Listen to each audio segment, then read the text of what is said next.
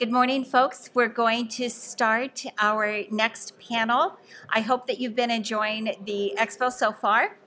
And we will uh, be looking at the whole role of bioenergy with regard to this panel. We have a number of speakers.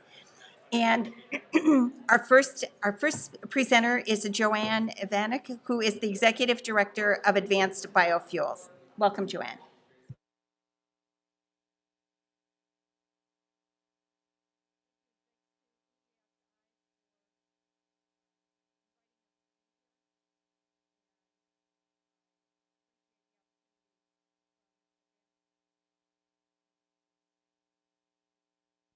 Could Okay, you there we just do it from the table, Joanne? Oh, do it from yeah, the table? Sorry, Okay. sorry. Yeah.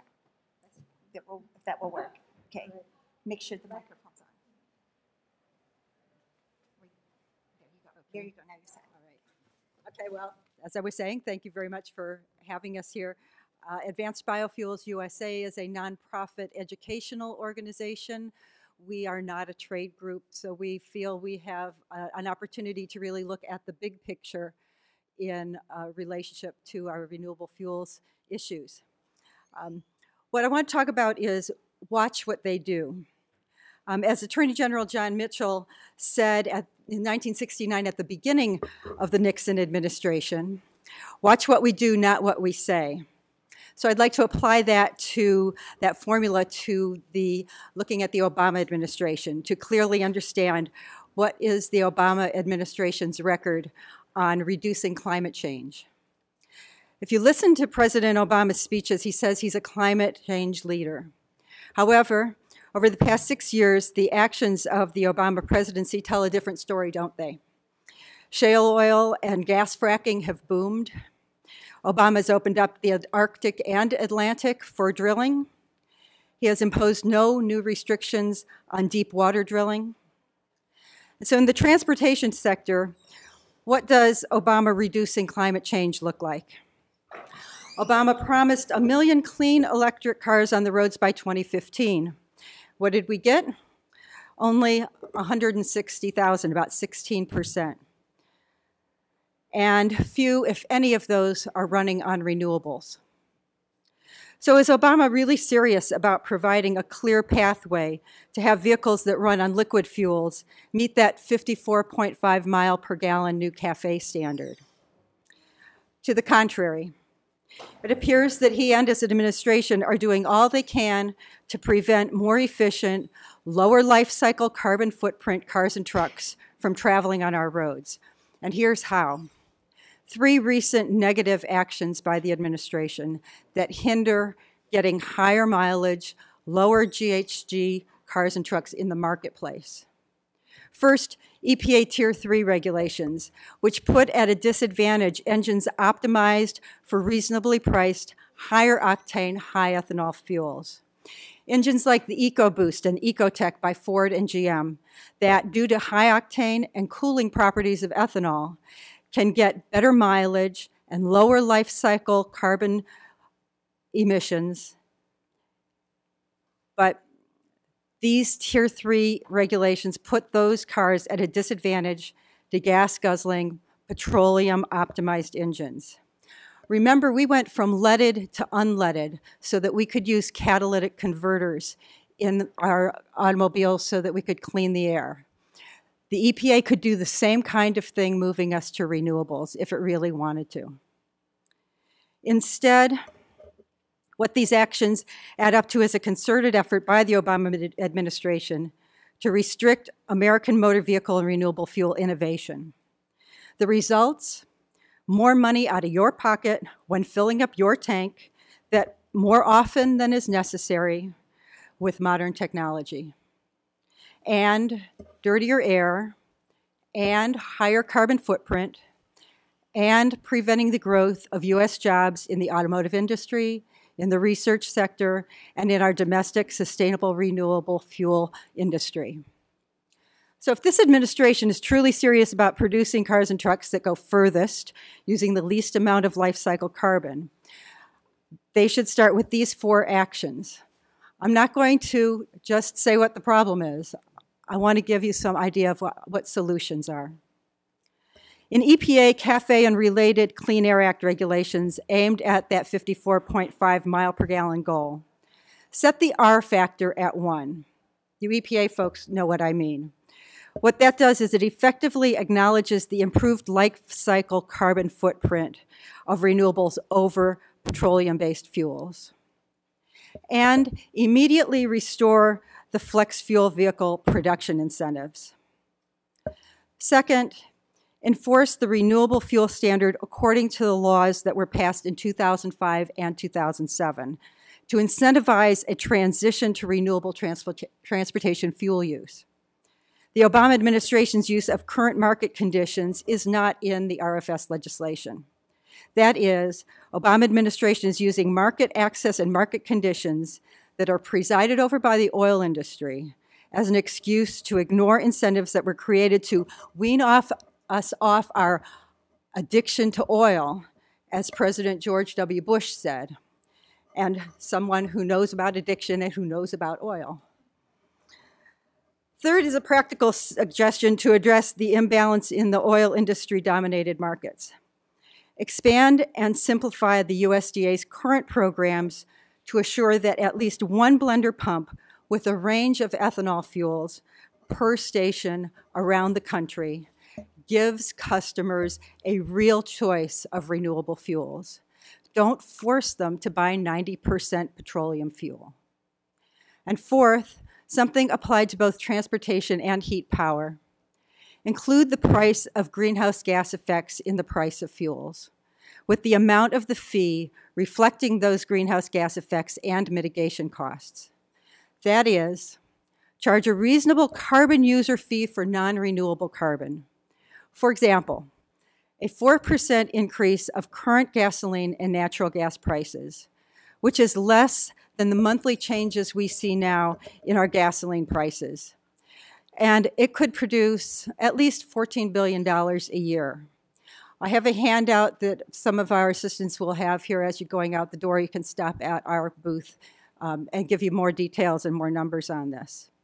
And then we'd suggest that the money collected go to renewable fuel research and infrastructure development. With the fee acting as an incentive to replace non-renewables, it will self-destruct as more renewables are used. And in the meantime, you can demand a choice and then we'll pay less in fees the more renewables you use.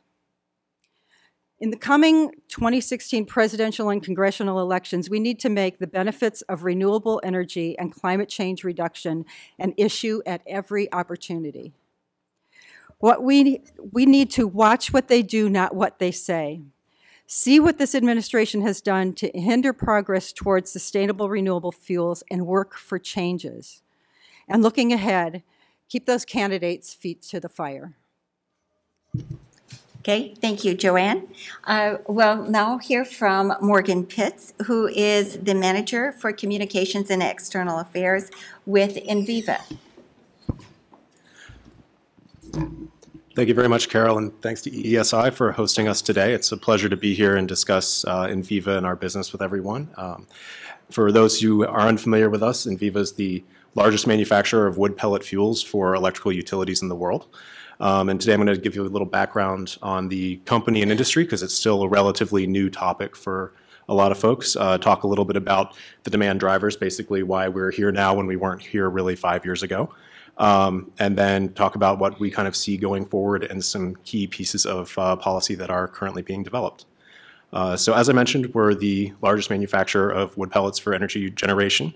Um, the wood pellet industry is not inherently new. Um, wood pellets have been manufactured really since the 70s. Uh, originally, they were largely used as a heating fuel and went to uh, particularly the Northeast, the Upper Rocky Mountain states, uh, areas that were off of the natural gas grid because they provide a much more uh, price stable heating resource. Um, what has started to change over the last five to 10 years is the interest from industrial utilities in using them to co-fire with coal or replace coal entirely. Um, and a lot of that interest is being driven by uh, int interest in renewable energy and global renewable energy policies. Um, as I'm sure everyone in here is, has heard of the Kyoto Protocol, um, which um, much of the rest of the world, certainly Europe, signed on to and we uh, opted out of. But uh, the Kyoto Protocol at the highest level is what is driving uh, the demand in, for wood pellets these days. Um, the European Union developed the Renewable Energy Directive, which required member states to develop renewable energy strategies, and uh, particularly Northern Europe, areas where there was a lot of existing coal-fired generation. Uh, there was a lot of interest in something like wood pellets that enables the ma maintenance of that um, significant infrastructure as well as the maintenance of that stable power supply, um, but or, excuse me, but um, rapidly improves the emissions profile. Uh, when you replace coal with wood biomass, uh, multiple sources have shown you reduce uh, carbon emissions on a life cycle basis. So that is uh, accounting for the carbon that it takes everywhere from sourcing the raw material through processing and transportation. That's a, co a common misperception is that that's not accounted for, but it, it absolutely is. Um, you reduce carbon emissions uh, by about 80% uh, with when sourced from the South U.S. and burned in Europe for fuel. Um, which so it goes to show that you would actually reduce emissions by far more than that if you used it closer to home, because you wouldn't have the uh, ocean voyage for them in the middle. Um, but in addition to reducing carbon emissions uh, pretty significantly, um, it also dramatically, replacing coal with biomass, reduces or eliminates emissions of mercury, arsenic, lead, sulfur, um, pollutants that cause a lot of problems with human health and also environmental health. So in, in, other words, what biomass does, the reason these utilities are so interested and that policymakers in Europe have been interested in supporting this as a strategy is that you retain your existing assets while improving the environmental profile. Now there, um, and just to talk a little bit about the European market for a second, um, right now we're projecting, and this is not we, this is actually Hawkins Wright, which is a consulting firm, um, that the demand in Europe alone is going to continue to grow over the next several years, perhaps reaching as much as 38 million tons per year um, it, by 2020. Um, one of the common questions that we get is, well, that sounds like a lot of wood pellets. Where is it all coming from? Uh, you know, are you going out clear cutting, um, deforesting, driving deforestation? Um, the answer to that is, is absolutely not. Uh, the wood pellet industry uses low-grade residuals of harvests for higher-grade materials. So in other words, if you're a landowner in the southeast U.S. where 94% of forest land is privately held and uh, kept as an investment, um, you're growing timber on that land to make telephone poles. You're growing it to make um, saw timber, things for you know building houses, for making furniture. Uh, that's where the majority of the, the money is. That's where you know that's what good timber goes to. But on attractive land, not all timber can be turned into lumber because it's rotten, defective. Um, it doesn't fit you know, local market requirements. Uh, so that's a, a, huge resource that actually, especially with the decline of pulp and paper in the recession, was largely going unutilized and in many cases was just left on the forest floor or burned at roadside. So we're able to take advantage of this, this low-grade material and turn it into this clean fuel. Um, and actually, just as an anecdote, as I said, one of the questions that we hear is, uh, you know, certainly from from folks who are concerned about the growth of the industry is, you know, are you driving deforestation? Is just an anecdote. Between um, 2007 and 2013 in North Carolina, where Enviva has the majority or has many uh, the majority of our operations, um, actual forest area increased by 28,000 acres. So it's it's actually a great story of afforestation, not deforestation in the southeast. But I mentioned that uh, you know Europe is, is the area where there is the most demand right now, but there's certainly increasing interest elsewhere in the world. Uh, South Korea, Japan, uh, increasingly interested in using this as a resource. Japan especially is an importer of energy, pretty much whatever it uses. Uh, so you know, pellets are a better choice than coal. Since they recently shuttered nuclear plants, uh, this enables uh, the use of low carbon electricity um, instead of having to turn to fossils. Um, here in the U.S., uh, there, we are in a state of policy flux and have been for several years on this. I'm sure some of you are familiar with the biogenic uh, carbon accounting framework, um, anyone who's, who's, worked in biofuels. Uh, currently, it's under review by EPA. The first framework was issued, I believe, in 2011. Um, it's currently to the Science Advisory Board, and there are a lot of questions. And there's a lot of questions that how you actually account for carbon with bioenergy. Um, the way it historically has been looked at and the way that I believe is the most accurate is that as long as you are sourcing from areas with increasing carbon stocks, so you're not deforesting, you're not depleting carbon, um, it should be counted as a carbon neutral fuel, and then you account for the life cycle emissions. Uh, but there, there's a lot of discussion about that, and I would be happy to take questions about that in the Q&A to go into a little bit deeper before I see any eyes glaze over. Um, so, you know, with that, I guess I'll, I'll wrap it up, but I look forward to having a good discussion. Great, thanks so much, Morgan. Uh, and you will see a great diversity in terms of different kinds of fuels and uh, biomass and bioenergy uses uh, from our, our panel participants. And so we are now going to turn to Blake Lindsey, who is the founder and chief administrative officer for Meredian Holdings Group, Inc. Uh, And this will give you another whole perspective. Blake? Thank you. Um, Thank you.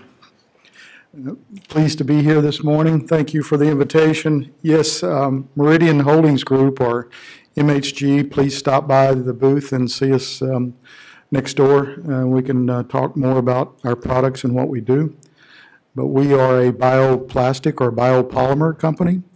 We utilize plant-derived fatty acids or plant-based oils to produce our type of uh, bioplastic. We spent the last 10 years uh, now in product development, uh, perfecting this technology. When we think about plastics and al- alternatives to uses of petroleum, um, I don't think many of us realize how much uh, we consume each year in plastics. There's over 600 billion pounds of plastics produced every year. A recent study by the University of Georgia and two other universities that was published in Science Magazine talks about 8 million metric tons ending up in the, ending up in the ocean every year. 8 million tons of plastic.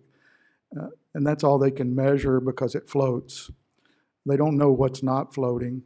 They predict it could be over 200 million metric tons of plastic in the ocean today. Again, 8 million metric tons go in every year. Uh, That rate is only going to increase, uh, they predict, over the next 20 years. It's not primarily because of countries like the US where we have uh, more infrastructure. It's for those developing markets and countries around the world with coastlines that don't have the infrastructure that we have here in the US. But we are a U.S. company today, but we certainly intend to grow, and uh, we'll be in other markets around the world. I like to do show and tell, so I brought my trash today. My daughter and I stopped at Chick-fil-A yesterday for breakfast. This is just an illustration of how much plastic we come in contact with every day. So I'm just going to go through that and show you. I had oatmeal and a fruit cup. She had um, a chicken biscuit or something, and a Coke. Came in a polystyrene foam cup. She had a straw that was plastic. My bowl for my oatmeal, plastic. Bowl for the fruit was plastic. Uh, Here's a little plastic window in the bag that had my uh, sugar and fruit and nuts in there. Uh, Spoon wrapped in plastic and a plastic spoon. Plastic fork that I didn't use and plastic bag. Plastic coated box that had her chicken nuggets in there. Plastic coated box that had her hash browns in there. The lid for the fruit, the lid for the oatmeal. Uh, Little plastic that had the cranberries in their little plastic bag. Uh, My coffee with a plastic cup lid. I give them credit. Um, Chick-fil-A is going green. They use a paper cup that's coated with our biopolymer, so good for them. Uh, Plastic, uh, this had the sugar in it, I think, the brown sugar. I'm not done yet, I don't think. Oh, yeah. No, this actually had the sugar in it. It was a plastic-coated little bag. And of course, the plastic bag that, that the food came in. So what, what do we normally do with this, you know, you and I, after we're done? Because it's all contaminated with our food. We put it back in the bag. Oops, that's my water cup. And uh, we wrap it in plastic, and we throw it away, right? That'll never go away. That'll never degrade, and hundred percent of it is made from petroleum. So we believe there's a better alternative that's good for the environment, It reduces the demand on petroleum. Um, The technology, like all of these uh, panelists up here today are reporting, is that uh, the technology is now enabling us to compete with petro-based uh, alternatives.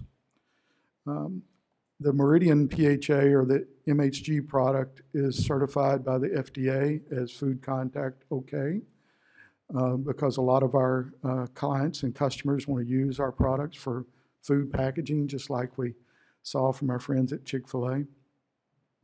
And by the way, they're a great company, and I, I do a lot of business with them because I eat there a lot with my daughter.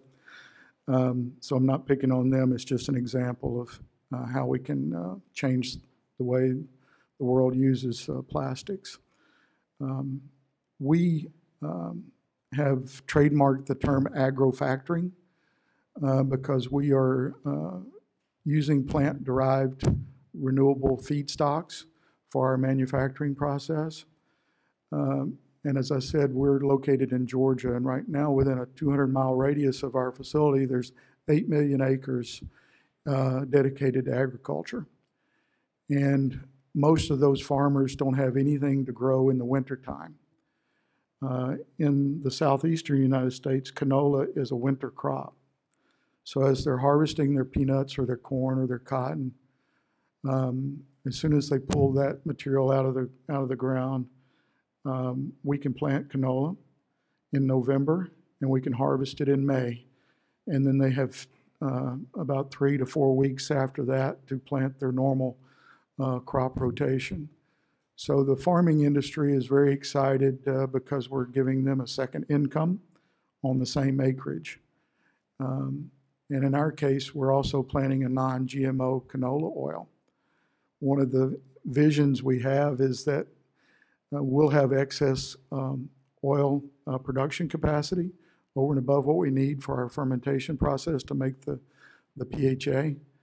We can rent the oil to uh, our friends at Chick-fil-A because they're already using non-GMO canola oil to cook their fries in today. And I say rent it because we want them to use it, and then when they're done with it, we want it back as used cooking oil to turn it into plastic, which we could then deliver to them those cups and plates and bowls and articles that I just pulled out of the bag as a fully renewable, uh, biodegradable, food contact safe uh, plastic um, and priced competitively and functional for all those applications. So thank you. Uh, Appreciate your attention and look forward to talking with you more. So, sure. And, and please note that he does pack out his own trash. So that's a real, real benefit, and, uh, and we'll probably never think about all of this the same way again. Um, So, um, thank you so much, and that's uh, uh, a very good segue to our next speaker, Anne Steckel, who is the Vice President of Federal Affairs with the National Biodiesel Board, because actually, biodiesel can be made from some of that same, same waste oil that you're talking about. So Anne? Well, thanks very much, Carol. Uh, good morning, everyone. It's wonderful to be here. Always appreciate this event and uh, the ability we have to meet and talk with folks and educate them about the biodiesel industry. So, I'm with the National Biodiesel Board, and we're the trade association that represents the biodiesel and renewable diesel industries in the United States. Uh, we have plants in just about every state.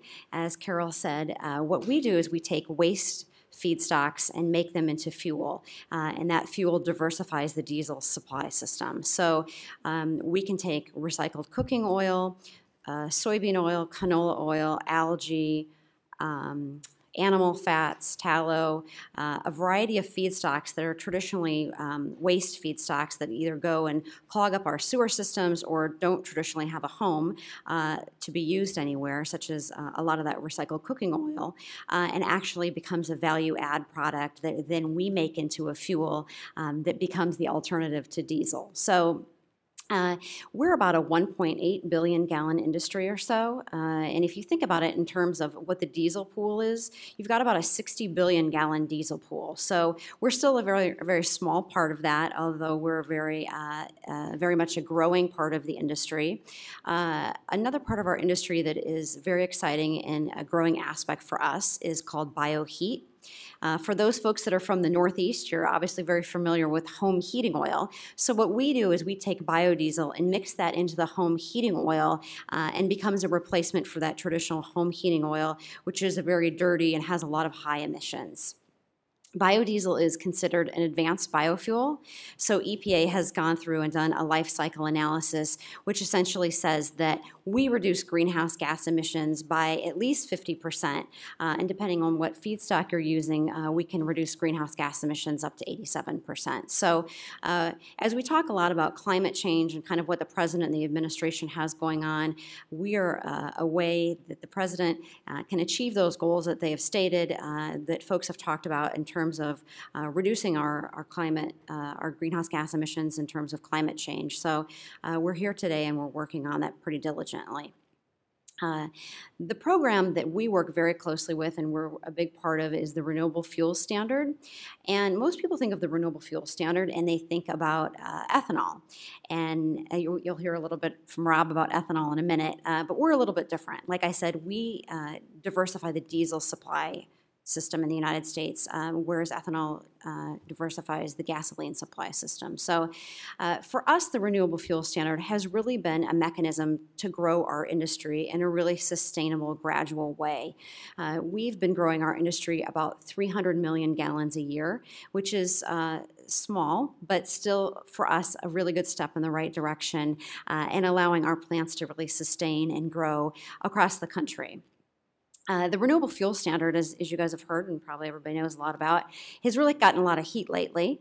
Uh, the EPA had uh, released its proposal uh, for the renewable volume obligations for the RFS. Uh, and for the biodiesel industry, we don't have a number set in statute on a yearly basis. Two years ago in 2012, we received a billion gallon, we, we gradually escalated up to a billion gallons. And then after 2012, we need to go into EPA and show them why we think we should be able to grow because we reduce greenhouse gas emissions, because we have jobs, we're good for the economy, you know, there's a variety of factors we go through. So we are working very closely with EPA and talking about a 300 million gallon growth or so uh, as the out years come up. And so EPA did put out the proposal. Um, it wasn't everything that we had wanted from the biodiesel and renewable diesel industry perspective, but for our industry, we do feel like what EPA put out was a step in the right direction in terms of increasing our numbers. EPA gradually increased our numbers 100 million gallons a year. Uh, clearly, we think we can do more. We know we can do more. We have production facilities all across the country and a capacity of almost 4 billion gallons that's not being utilized. So, if our highest production was 1.8 billion gallons and we have a 4 billion gallon capacity, we clearly have a lot more room to grow. So, throughout this comment period that we're entering in uh, and in right now with EPA, we're really working with them to talk to them about how we see this program growing and why it makes sense to continue to grow the biodiesel and renewable diesel sector. So, so we're going to be working really diligent with EPA over the next few months. The comment period closes at the end of July, uh, and we'll be submitting comments to them uh, on why the volumes should continue to grow uh, for all of us in the renewable fuels industry. Um, our friends in the ethanol industry, obviously, as, as well as ourselves. Um, the other aspect uh, that we uh, work closely with legislators on, and on a federal policy perspective, is the biodiesel, renewable diesel, and renewable jet tax credit. So there is a dollar a gallon blender's tax credit uh, that usually resides within the extenders package um, that our industry can use to continue to grow in a sustainable way. Uh, as we all know, and clearly if you're here, you care about renewable energy, uh, we're competing with a very highly entrenched petroleum industry that's been subsidized, subsidized for a long time. So it's essential as, as we all sit around the table and brainstorm about how we can all kind of diversify this, uh, that we think about federal policy factors that are important in that. So clearly for us and, and for others, the renewable fuel standard and the tax credit continues to be very important in that arena. So, so those are our two federal policy issues that we've been focusing on. Um, I'm, I'm, happy to talk more, but I know we're under a time constraint, so uh, uh, I'll turn it back over to Carol right now. Thanks. Okay, thanks so much, Anne. And if we have time at the end, we'll, we'll take some Q and A, which would be great. So now we're going to hear about that other part on, um, or one of the other parts with regard to the renewable fuel standard. And um, uh, Rob Walther is with us today, and Rob is the Director of Federal Affairs with POET, and they have a very interesting story. Yeah, yeah. Thank you, Carol, and thank you for having us today. Um, always love EESI panels because the folks that go before and after you, you learn so much. Um, I think my key takeaway today is that the salads my wife has me on is nowhere near as delicious sounding as uh, the Chick-fil-A meals that your family is enjoying. So I, I will uh, endeavor to make some changes in my life here. Um, so back in October, um, I had the opportunity to come and uh, present at an EESI uh, panel uh, about cellulosic ethanol. And that was on the heels of us opening up um, our uh, first commercial scale, sale uh, cellulosic plant, 25 million gallons, 90% clean fuel. Um, and if you go and look at the video of uh, my presentation, uh, I come across as almost giddy, uh, pretty, pretty excited. Um, because you know this has been a long time in coming. When I was a staffer on the Hill, I was on the science committee. You know that committee takes a look at new things, things that are coming up that might not ever come to fruition. Um, and cellulosic was a technology that we had uh, looked at. Well, here it was. Um, I'm now part of a company that is actually bringing it into the commercial space. Um, and so it was really exciting. Unfortunately, as uh, Anne referenced earlier, um, we are still having problems with uh, the Environmental Protection Agency and uh, their proposed volumes under the RFS. So I'm not quite as giddy today, and I'm not quite as optimistic as I was back in September that you will see uh, continued rollout of cellulosic plants. But I want to make two key cases to you today um, that I hope you'll take away. Um, the first is that, like our plant, other commercial scale cellulosic facilities have arrived, and 2014 was an inflection point year. What the inflection point was uh, has yet to be determined, uh, but it was an inflection point year. So I'm going to try and make that case to you. And in the second case, I'd like to uh, present an argument of why the RFS still remains so important, why it is an important part to us being able to scale up advanced biofuels in the future. So let's turn to that first point, the, the inflection, the inflection point. Whether or not 2014 we saw the ethanol industry move from first generation or traditional sources of feedstock, which is corn, uh, and was starting to make that transition into advanced feedstocks. Um, so taking Liberty, Project Liberty, which is our cellulosic plant as an example, um, we use corn stover as the feedstock. Has a high theoretical maximum amount of gallons that you can produce uh, from it uh, because it has a fair amount of sugar relative to other cellulosic feedstocks. Um, but really it comes down to the logistical and infrastructure synergies that exist uh, by bolting on a cellulosic plant to our existing corn ethanol infrastructure. Um, POET has 27 plants spread across seven states. We're the largest producer of ethanol. We know how to market this stuff. We know how to transport this stuff. Um, we wanted to put ourselves close to our existing um, producers who can haul us cellulose, corn stover, and also take advantage of the road, the rail, the power lines, the water mains, all that infrastructure that already exists at the corn ethanol plant. Um, that's money, that's upfront capital we don't need to raise when building out these plants. And that's at a time that this plant, which is 25 million gallons, same molecule as you get from corn, um, is that 25 million gallon plant is about $300 million. The same size corn ethanol plant is about $80 million, so almost 4x difference. Uh, so keep that in mind here. We need to get our capital costs down. So anything we can do at the front end to keep those capital costs down on that generation one through really generation six is, uh, is vitally important. Um, the other synergy that I think people often forget here is that when you bolt on a stover plant, you put in that stover, out comes ethanol, but then you have this leftover lignin. It's basically this fibrous mass. And what we do is we put that through a solid fuel boiler, we create process heat, and we are able to generate all the heat that that cellulosic plant needs. So we don't need any fossil fuels there.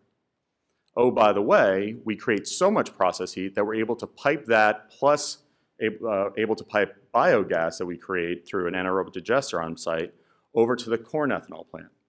The corn ethanol plant no longer uses natural gas. It is now fossil fuel free.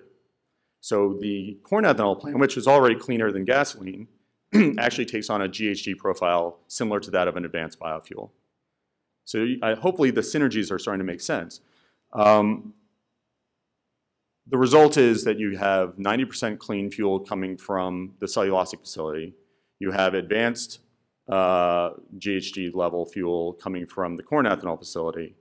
And this is for those staffers in the room, you have a cheaper product than oil.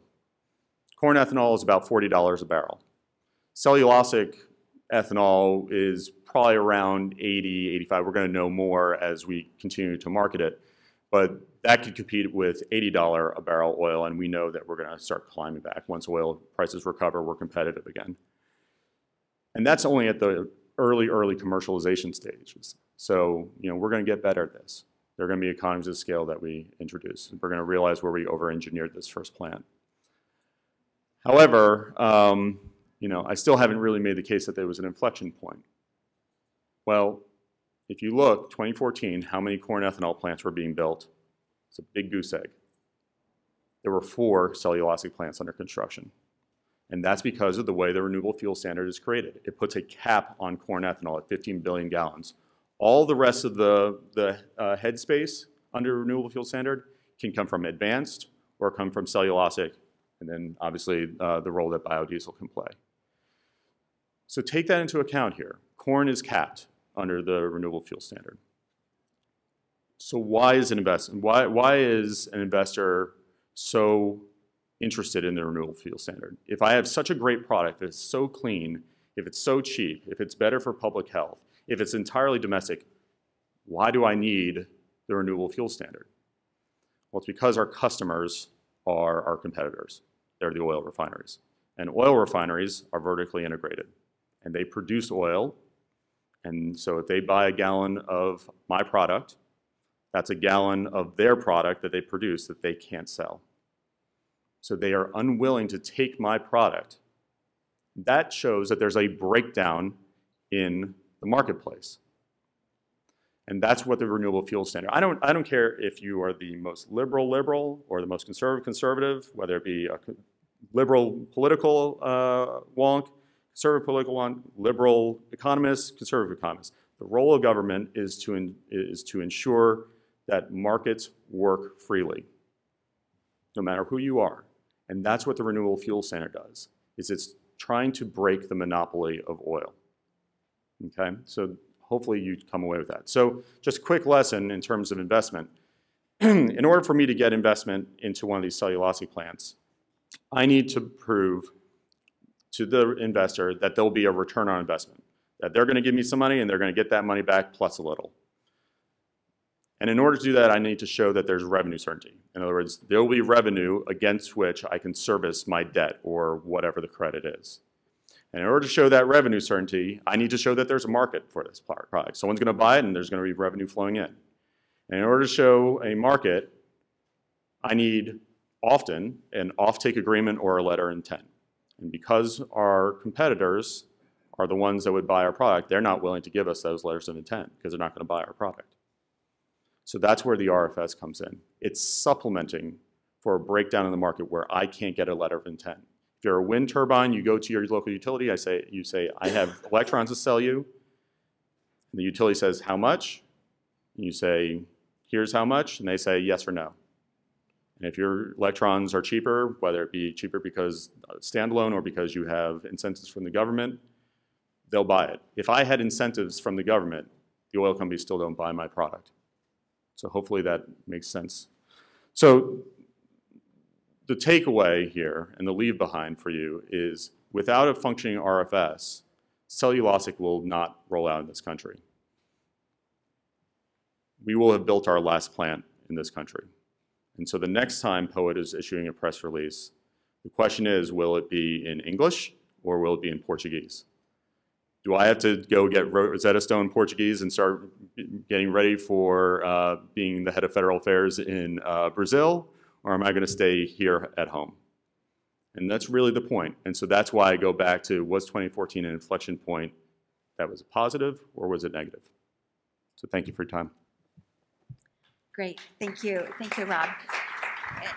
And I might just mention, uh, at the briefing that Rob referenced last fall, there, we had several cellulosic companies that were there. And basically, they were all saying the same thing, that they were now in the market with, with product, had gone commercial, but that um, uh, without certainty and policy. And of course, we hear this across the board with regard to all renewables, with, with regard to everything, but without certainty and policy, that the market was going to go overseas because that is where the market conditions were much more favorable. Uh, So uh, there are a lot of interesting things going on at USDA in terms of looking at all sorts of bio-based products and businesses uh, that USDA's uh, programs are, are fostering. And to talk to us a little bit about that is Mark Brodziski, who is the Director of the Energy Division for the Rural Business Cooperative Service at USDA's uh, um, Office of Rural Development. Morning, thank you, good morning, everybody. Uh, Just for, yeah, a little background and clarification, the, uh, within USDA, as, as many of you know, we're a huge department uh, with, with various um, agencies. I represent the Rural Business Cooperative Service, uh, which is part of our rural development mission area. Uh, And really, within Rural Business Cooperative Service, our role is to provide financing programs, so mainly uh, guaranteed loans, some grants for business and economic development. Uh, This morning, I'll focus on our energy programs, uh, which is the division that I administer. Uh, And in a nutshell, uh, kind of the elevator speech, uh, the programs I administer really are loans and grants that support the rest of what the panel just talked about. Uh, The production of a wide variety of advanced biofuels, of uh, bio-based products, including um, uh, bioplastics uh, soon, and and many other products. Uh, So I'm going to focus on on a couple of our programs, just give you some highlights as to the program itself, uh, some status, uh, and then some insights as to some other activities where you can learn more about the programs. Uh, So the three programs I'll address are the Rural Energy for America program, uh, the Advanced uh, Biofuels Payment Program, and for short, our Biorefinery Assistance Program. And I'll explain that comment for short when we get to the end of this. Uh, The uh, Rural Energy for America program uh, was uh, initially authorized in the 2002 Farm Bill. Actually, all these programs are Farm Bill supported, uh, both from an authorization sense, but also from a funding sense for the most part. Uh, The Rural Energy for America program supports small businesses and ag producers uh, that are interested in either implementing a renewable energy system or undertaking energy efficiency projects. Uh, On the energy efficiency side, it it could be things like equipment, um, you know, on-farm. Uh, We do a lot of of funding and financing of grain dryers, uh, but it could be heating, lighting, uh, and other uh, uh, improvements that reduce consumption of energy. Small businesses are also eligible, such as grocery stores, car washes, manufacturing facilities, all again for the reduction of energy consumption. On the renewable energy side, uh, the program uh, provides funding for uh, implementing a renewable energy system, such as wind, solar systems. Uh, We use the term biomass to be a wide variety. It could be things like uh, biodiesel, uh, ethanol facilities, uh, wood pellet facilities, so a wide variety of, of biomass facilities. The program provides grants or guaranteed loans, grants up to $500,000 for energy systems, 250,000 for energy efficiency improvements, uh, and loans up to $25 million. Uh, This year, we had quite a bit of funding available, about $100 million total, uh, mainly because the program was delayed in getting out in 2014, the last Farm Bill.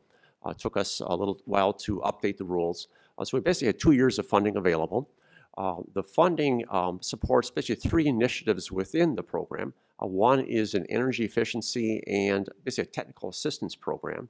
Uh, So we provide grants to universities, uh, electric co-ops, uh, could be units of state or local government, uh, resource and conservation districts, for example, uh, to assist small businesses and ag producers uh, just doing studies, energy audits uh, for energy efficiency programs, or for technical assistance in implementing uh, their uh, renewable energy systems. Uh, That program provided $2 million of funding this year uh, in 25 projects in 24 states, so a very diverse uh, pro- uh, program. Uh, In the um, actual loan and grant program for systems, uh, we're in the middle of the year, so I can't give you a lot of details as far as, as where we're going to end up. Uh, But uh, we split uh, 10% of the funds uh, and reserve it for small projects, so projects that are requesting uh, grants of 20,000 or less. Uh, And we fin- just finished uh, rolling out that program and funding those projects. Uh, So we just, um, it was just over $10 million available. Uh, And in that program, we made 800 awards, uh, of which were about half and half, a little bit under, uh, about 325 for energy efficiency projects and little, almost 500 uh, awards for renewable energy systems um, this year. Uh, We're just starting to uh, roll out the larger projects. Uh, So we have yet $60 million available, but we also have about 1,500 applications on hand throughout the country. So as you can see, it's a very active program and going forward. Uh, The second program, very simply, is an advanced biofuels payment program. Uh, On an annual basis, we have $15 million. This is again supported by the Farm Bill. Uh, And the program basically makes payments uh, to producers of advanced biofuels. Uh, So on a quarterly basis, of the producers that apply for the program report to us what their production was, and we simply prorate the payments based on their production on a BTU basis. So we kind of equate all the fuels and production to BTUs, uh, and they make payments uh, to support the production of the, the various industries. Uh, That the payments, as you might expect, are getting smaller um, because the industry is growing, uh, which is really the nature and and the purpose of that program. Uh, The last I'll talk about is really our, our, our, say, newest in the sense of rolling out changes to the program, is the biorefinery, uh, renewable chemical, and bio-based product manufacturing assistance program. Uh, It used to be called the Biorefinery Assistance Program, now a much longer term. Uh, The 2014 Farm Bill added the uh, renewable chemical and bio-based product manufacturing components to the program. Uh, So just um, on the 24th of June, we released uh, the new rules for the program. Um, Earlier this week, we published the uh, invitation for applications. Uh, And on the 16th, we're going to hold a uh, rollout forum. So those of you that are uh, Washington-based or those that were interested in additional information on the program, uh, let me know. I can provide you some insights. We have, um, basically, it's a forum that we're going to host at USDA on the 16th and have a web link uh, also for connection uh, for more information on that program. Again, that program provides guaranteed loans uh, up to $250 million to assist for the development of biofuels, renewable chemicals, and bio-based product manufacturing. Um, If you're familiar with the program in the past, uh, it supported uh, bio, or supported advanced biofuels. So a biorefinery, uh, the major component of the biorefinery had to be the fuels.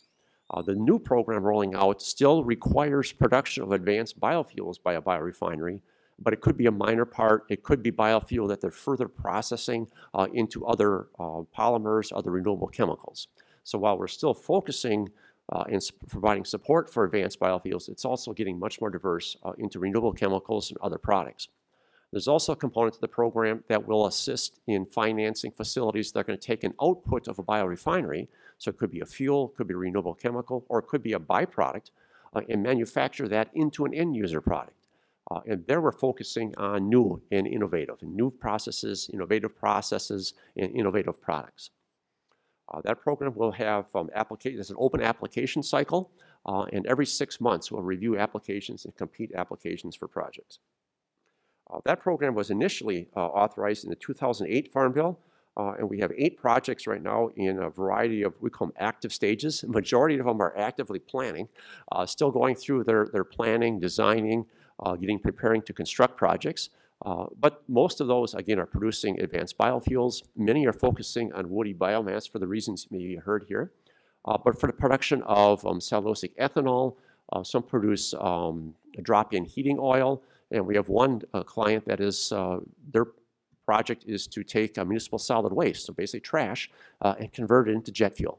So it's a pretty, very exciting industry to be in. Uh, If you want more information on the program, I have some handouts. We have a booth back in the expo. Uh, Feel free to, to stop and talk to us. Uh, And we also hope that you join us on the 16th for some more information. Thank you. Great, thank you so much, Mark. Um, And I, I know in terms of just the reading that I've done with regard to some of these trash to other fuels, like the aviation fuel, um, it's very, very fascinating. And, and I must say, it- it has always struck me too, that biomass is the one renewable resource that can be a problem if it is not utilized. Um, and so we, it's, it's one of those things that offers up a whole lot of exciting opportunities, very different things, uh, in, in terms of thinking about all of the different kinds of sustainable uses that, that can be made. And, and I guess one, one other point that I've always found very, very interesting is that in terms of thinking about biorefineries, the whole host of products that can come from those biorefineries. It's not just one thing at all. Um, Just like an oil refinery, there are often many, many things that will come off that, out of a biorefinery. You can have numerous products that, that uh, emerge there as well. So we have a few minutes left for your questions or comments. First, uh, let's go over here first.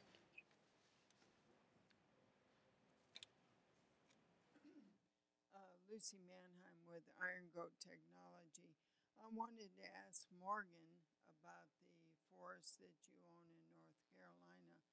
I heard, and it's probably erroneous, that they were all chipped and sent to Europe. Do I understand from your presentation that the roundwood was used for this and only the residue was chipped and sent or pelletized and sent to Europe? So, two, two points there. Uh, the first one is that Enviva does not actually own any forest land. Um, so we source from uh, private landowners who grow timber to, um, as a commodity essentially to sell to multiple markets. Um, and then as far as what we actually use for pellets, we use pulpwood, which does include roundwood, um, in areas where there's no other market for it.